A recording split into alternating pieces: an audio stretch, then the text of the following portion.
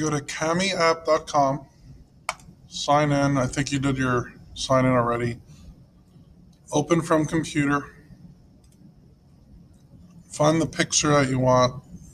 Let's get this one. Convert it.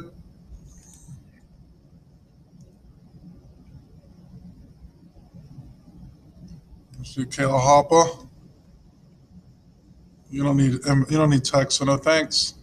Click download, and then it'll be a PDF. Begin export. Remember where you're saving it.